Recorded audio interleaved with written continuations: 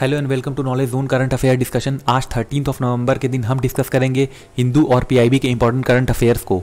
चलिए discussion start करते हैं। पहली न्यूज़ है फिंगर एट एरिया के बारे में। अभी न्यूज़ में क्यों है? यहाँ पर at corps commander level talk हुई, चुशुल विलेज जो कि लेह डिस्ट्रिक्ट में लाई करती है। तो यहाँ पर इस टॉक्स के दौरान पीपल लिबरेशन आर्मी रेडी हो गई है कि वो फिंगर एट रीजन जो कि line of actual control north of Pangong lake के करीब है वहाँ से बैकआउट करेगी। इस प्रपोजल में कहा गया है कि जो चाइनीज़ ट्रूप है वो और उनके टैंक और आर्टिलरी यहाँ से इतनी दूर जाएँगे कि इस तरह के इंसिडेंट्स फ्यूचर में ना हो सके। देखिए ये वाला जो एरिया है यही है आपका पैंगोंग सो या पैंगोंग लेक का एरिया पैंगोंग लेक के बारे में अगर बात की जाए तो ये लोकेटेड है 13,900 फीट की एल्टीट्यूड पर। इसका टू थर्ड पार्ट जो है, वो चाइना कंट्रोल करता है और वन थर्ड पार्ट जो है, वो इंडिया कंट्रोल करता है।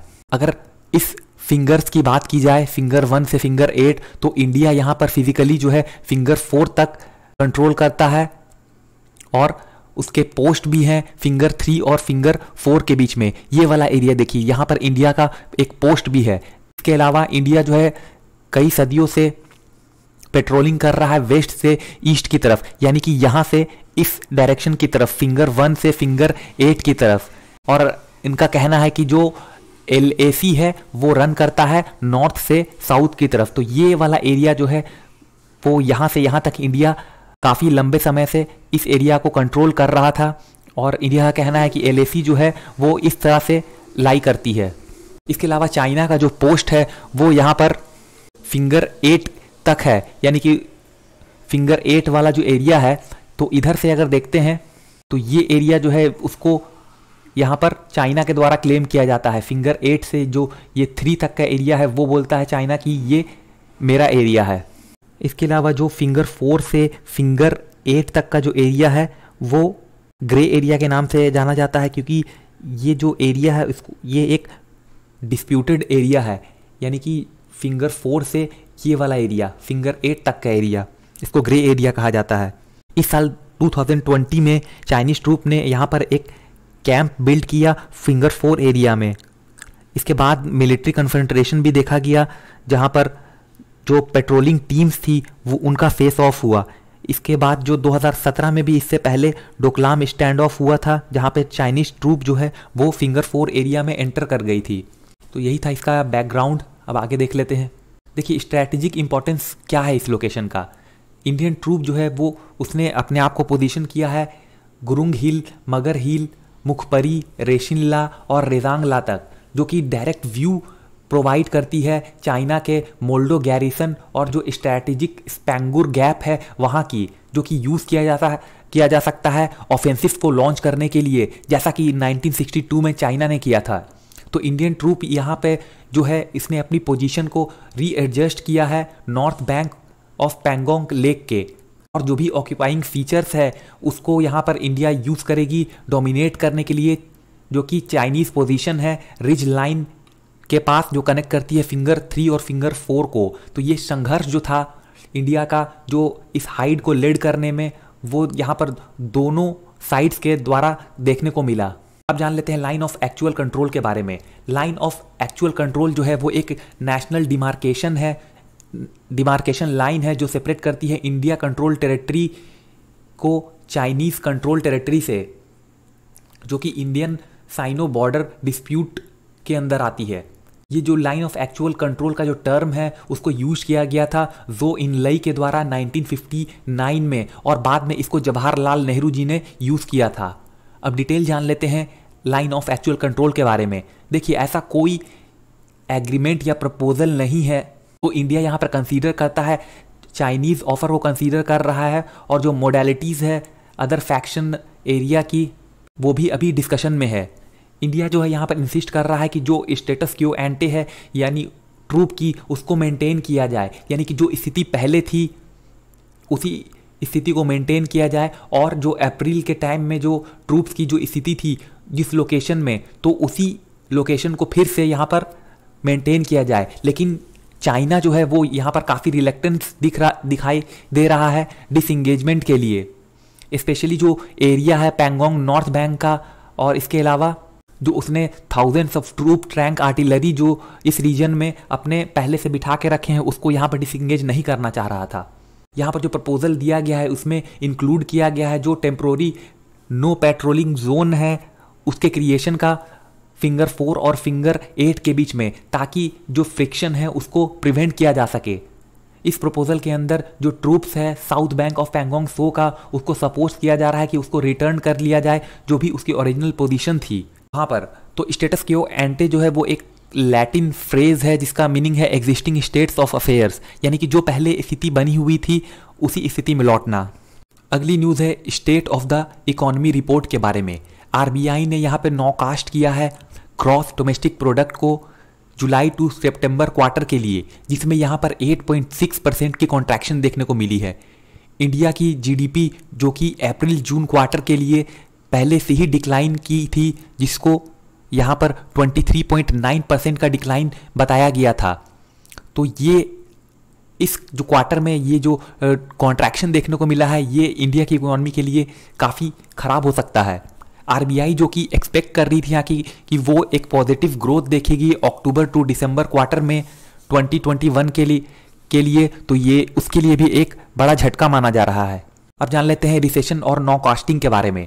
देखिए इकोनॉमिक के टर्म में जीडीपी ग्रोथ अगर दो कॉन्जिक्यूटिव क्वार्टर्स के लिए निगेटिव होती है तो इस तरह के टर्म को यहाँ पर रिसेशन कहा जाता है। इसके अलावा नाउ कास्टिंग जो होती है, वो प्रिडिक्शन होती है प्रेजेंट की, और जो भी नियर फ्यूचर है, उसके बारे में जो इकोनॉमी होगी उस समय स्टेट की तो उसकी प्रिडिक्शन को यहाँ पर नाउ कास्टिंग कहा जाता है।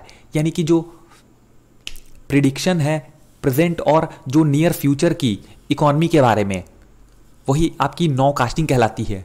रिस्क क्या है? देखिए, यहाँ पर एक अनरिलेंटिंग प्रेशर है इन्फ्लेशन का, जबकि यहाँ पर इम्पोर्ट जो है, वो किया जा रहा है हमारी कंट्री के अंदर।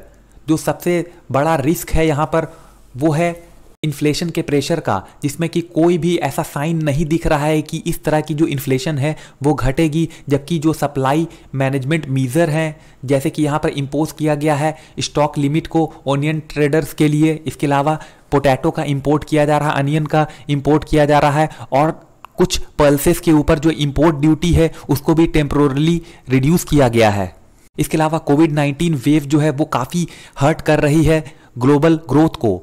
सेकंड मेजर रिस्क जो है, वो economy stems from the global economy यानी कि जो इकोनॉमी जो यहाँ पर पैदा हुई है ग्लोबल इकोनॉमी के द्वारा में और इसके द्वारा इसके अलावा जो अभी रिस्क है सेकेंड कोविड वेव का, उसको लेकर भी। तो यहाँ पर जो एक्सटर्नल डिमांड है, वो मे भी कोलैप्स कर सकती है और अगेन कोमोडिटी प्राइस जो है, वो यहाँ पर पहले से ही प्रिडिक्ट की जा सकती है।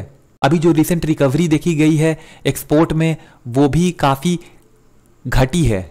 इसके अलावा जो इंटेंसिफाइंग स्ट्रेस है हाउस होल्ड और कॉरपोरेट्स के ऊपर, वो भी एक मेजर कॉज यहाँ पे हो सकता है। जो थर्ड मेजर रिस्क है वो है लर्किंग अराउंड द कॉर्नर यानी कि जो हाउस होल्ड और कॉरपोरेशन के ए, अंदर जो स्ट्रेस है उसको लेकर के ये काफ़ी बड़ा रिस्क हो सकता है हमारी इकोनॉमी के लिए। क्योंकि अगर इस तरह के जो प्रेशर से जो स्ट्रेस है अगर उसको कम नहीं किया इससे निपटा नहीं गया तो इसका असर फाइनेंशियल सेक्टर पे देखने को मिल सकता है। तो वे फॉरवर्ड क्या है? देखिए कोविड नाइन्टीन पैंडेमिक के दौरान जो है जो ग्लोबल डेवलपमेंट है वो काफ़ी कम हुई है और जो ग्रोइंग साइन है हेल्थ क्राइसिस में इंडिया के अंदर वो यहाँ पर कम हो, होती भी दिख रही है। तो यानी कि जो हेल्थ क्राइसिस जो इंडिया में बहुत ज़्यादा कुछ समय पहले देखने को मिल रही थी वो अभी फ़िलहाल कम होती हुई दिख रही है जिससे कि लोगों के बीच में एक उत्साह और एक हिम्मत पैदा हुई है और वो इकोनॉमिक एक्टिविटी में इंगेज होने लगे हैं। तो यहाँ पर जो पीपल हैं वो नॉर्म्स का फॉल, को फॉलो कर रहे हैं, जैसे सोशल डिस्टेंसिंग मास्क का यूज़ और सैनिटेशन का यूज़ करके यहाँ पर जो पीपल है पब्लिक है, वो यहाँ पर इकोनॉमिक एक्टिविटी में इंगेज हो रही है, जो कि एक अच्छा साइन माना जा सकता है। अगली न्यूज़ है टॉप टू टोटल स्कीम्स के बारे में। अंडर आत्मनिर्भर भारत अभियान, यहाँ पर operation green schemes top to total को लॉन्च किया गया, जिसमें 50 परसेंट ट्रांसपोर्टेशन सब्सिडी अवेलेबल की गई एयर ट्रांसपोर्टेशन के लिए।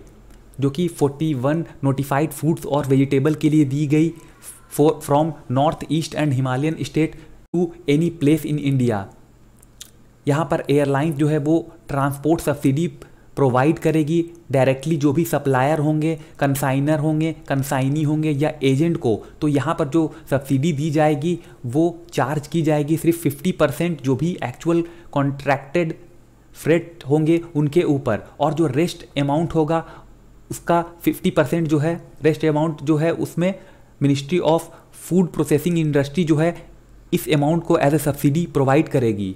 यहाँ पर ट्रांसपोर्टेशन सब्सिडी जो है, उसको अर्लियर एक्सटेंड किया गया था ऑपरेशन ग्रीन स्कीम के अंडर जो कि किसान रेल स्कीम के तहत दी गई थी, जो कि ट्वेल्थ ऑफ़ अक्टूबर 2020 से इफ़ेक्ट में थी।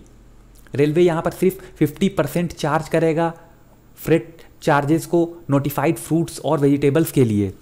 अब जान लेते हैं एलिजिबल क्रॉप्स कौन कौन से होंगे। देखिए एलिजिबल क्रॉप्स वही 41 नोटिफाइड क्रॉप्स हैं जिसमें 21 फ्रूट्स और 20 वेजिटेबल्स शामिल हैं। फ्रूट्स के अंदर mango banana guava kiwi litchi mosambi orange kinnow lime lemon papaya pineapple pomegranate jackfruit apple almond passion fruits pear potato और चीकू शामिल हैं। इसके अलावा 20 वेजिटेबल्स के भी यहाँ पर लिस्ट है जिसमें French bean bitter gourd brinjal capsicum carrot cauliflower okra cucumber ginger cabbage squash और टर्मरिक शामिल हैं। अब जान लेते हैं कौन कौन से एयरपोर्ट जो होंगे, जो एलिजिबल होंगे इस फैसिलिटी को प्रोवाइड करने के लिए। देखिए, जितने भी एयरपोर्ट हैं, Arunachal Pradesh, Assam, Manipur, Meghalaya, Mizoram, Nagaland, Sikkim, Tripura from north east and Himachal Pradesh, Uttarakhand और यूनियन टेरेटरी जो है जम्मू कश्मीर, लद्दाख और जो भी हिली एरियाज़ हैं, वहाँ पे ये सारे एयरपोर्ट एलिजिबल होंगे इसके लिए। तो ये थी आज की सारी discussion. Thank you thank you very much for listening